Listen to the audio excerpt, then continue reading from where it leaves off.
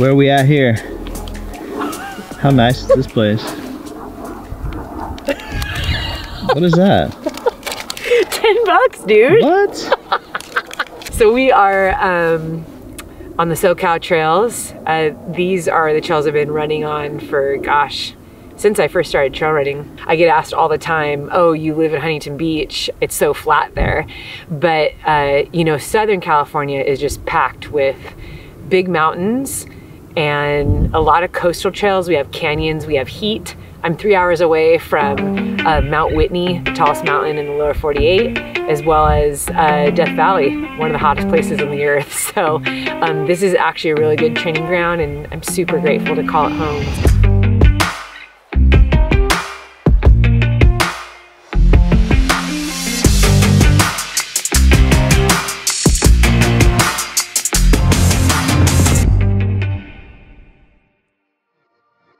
Today, uh, I just finished a three hour workout in the gym. The purpose of today's workout is just to work on endurance and strength. And so um, I did low weight, high rep. Double fisting this morning. Got coffee with uh, collagen protein greens, reds, and electrolytes.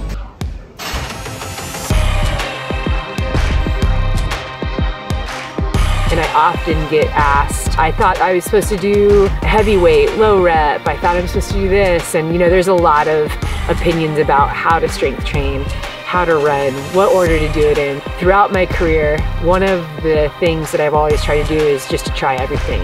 You know, I'm I don't I'm never gonna tell someone the right or wrong way to train, but I do love sharing what I do because I, I hope to encourage other people just to carve their own path. Three hours and one minute and 34 seconds. Done. I haven't added up the reps yet. I will. There's a lot of reps. There is a storm brewing outside, but I have a run to do. But first, I'm gonna eat, change my clothes, and then we're gonna get ready to run. So, lift and run today. A lot of people have been asking about my thoughts and philosophy on training um, when to lift, when to run, and vice versa. We'll get to that in another episode, but today we're just getting the work done, and this is what it looks like.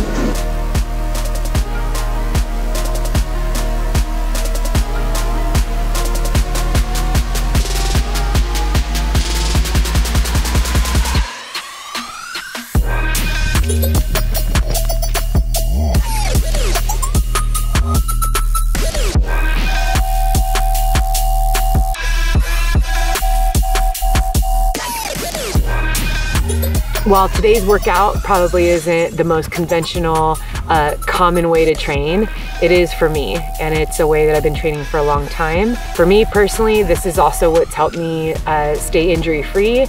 It's what's helped me continue just to build up my mind. You know, when I go in the gym and I train for three hours, I am tired and um, I don't want to run. So I don't do this every day, but it's a part of my, my training plan. It's always been a part of, of, somewhere in the program where I'm like, okay, today we're gonna go and test the mind, we're gonna test the body, we're gonna push the envelope a little bit.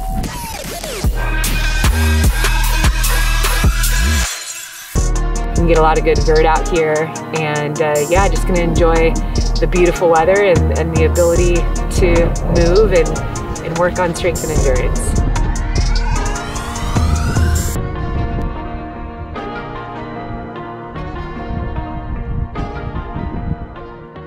The build up to this race is pretty similar as far as strength training goes, is pretty similar to how I would do 100.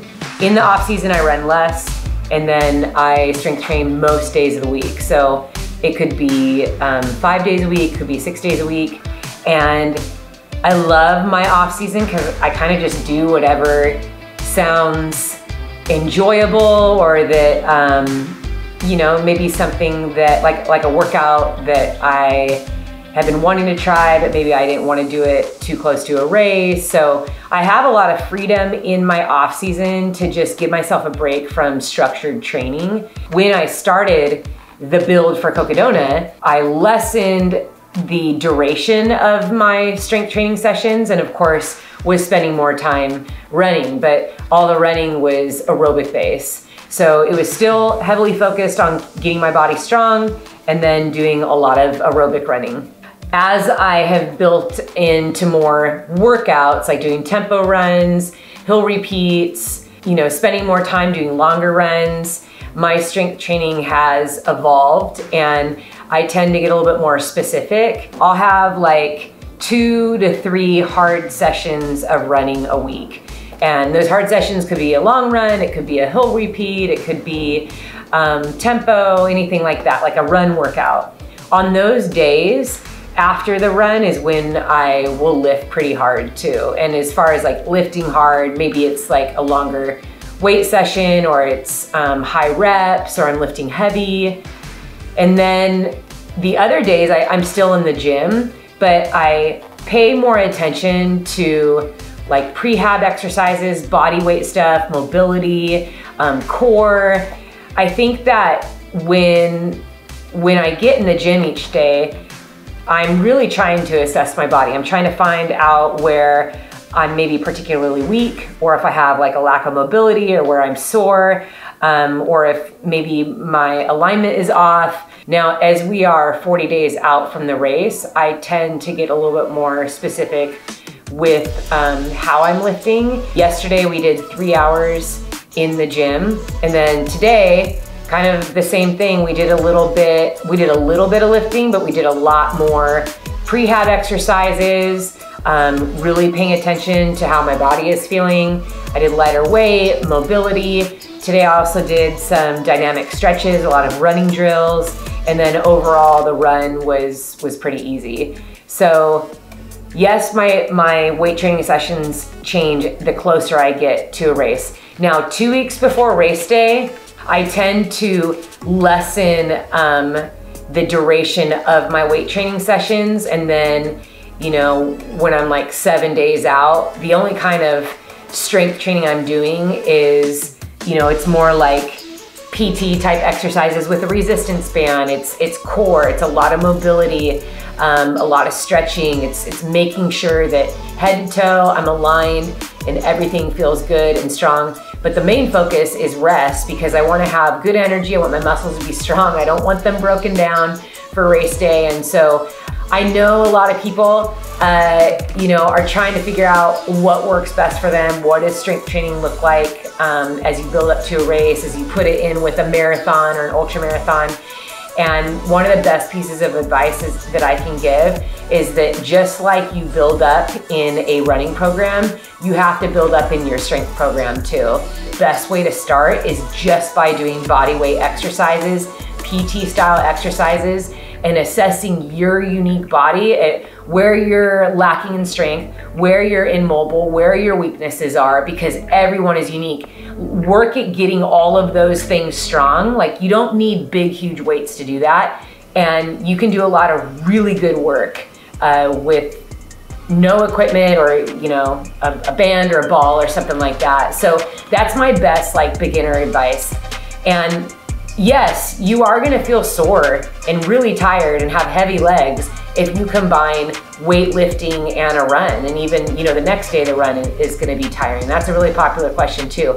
Again all of that has to do with your history of lifting and the purpose of your workout. So i'm really specific about when i do those things. So let's say that you break down your training plan every 30 days or like every month. Pick like two or three days where you're going to do something that's that is really heavy lifting and, and long running all you're doing there is preparing the mind and allowing the body to feel what it feels like um, when you're in the middle of an ultra.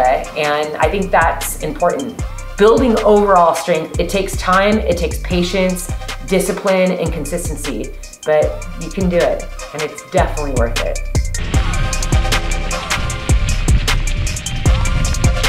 All right, so tell us a little bit about your strength training philosophy. First and foremost, I my, my philosophy is that we are all strong. Um, apart from the physical, you know, big muscles, toned bodies, I believe our greatest strength is from within. And it's something that we can all tap into. And I think one of the biggest challenges that we have just as humans is living courageously in all that we are. Um, embracing uniquely like our one life and all the variables that make us who we are and that takes strength to do that. So um, I love strength. I love the mental side of it the physical side of it. And my philosophy is is that we first need to address our weaknesses to become stronger. And when we step into a gym, and, and you know, and this is in the more literal sense, I think the most important thing is to first get strong in your own body.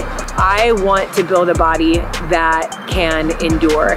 And when I first started in ultra running, I understood that to go, you know, 50, 100 miles, you need a body that can endure that distance, that it, it, it can endure going up and down mountains. And, um, and so strength training just made sense to me.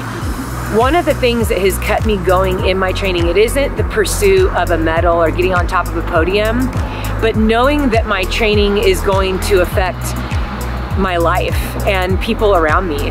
And, you know, I've had the opportunity to use my strong body in so many other ways that have nothing to do with running. And I think that being able to share that with others is important because sometimes we lose our mojo, motivation, um, or just focus in training because we're so focused just on ourselves and this one goal. And sometimes as soon as we get that goal, we realize that we, we kind of feel empty or we just feel like there's something else that's missing. I've been able to use my body and its strength to help build houses in impoverished areas. I've been able to, you know, carry children when I've been helping out at orphanages. Um, my, you know, Eddie and I got to, we renovated our, our whole house up in Oregon by ourselves and we were ripping out toilets and sinks from the walls and, um, and carrying those out outside with our own two hands. I mean, it takes strength to do that.